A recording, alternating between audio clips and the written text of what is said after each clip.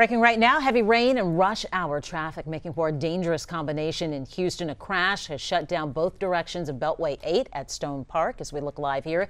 And we've learned two people were ejected. We have a crew heading to the scene now, as you can see here, and we'll bring you updates as soon as we get them. And